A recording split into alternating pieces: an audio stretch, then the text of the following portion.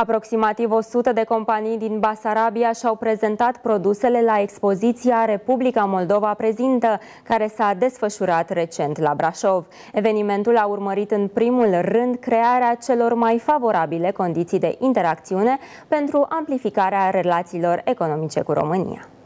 La expoziție au participat 20 de companii din sectorul vinicol, producători de mărfuri și prestatori de servicii din toate sectoarele economiei naționale, domeniul agroalimentar, textil, întreprinderi mici și mijlocii, gospodării țărănești, meșteșugari, dar și companii din stânga Nistrului. Prin evenimentul dat propunem contribuirea la consolidarea și îmbunătățirea relațiilor economice dintre companiile din Moldova și potențiali parteneri din România prin încurajarea competitivității produselor și serviciilor serviciilor prin crearea unei platforme de discuții și prezentarea oportunităților de cooperare, a declarat președintele Camerei de Comerț și Industrie a Republicii Moldova, Sergiu Harea. Programul evenimentului a mai inclus întrevederi B2B cu potențialii parteneri, masterclass-uri pentru Horeca organizate de către Oficiul Național al Viei și Vinului și un program cultural.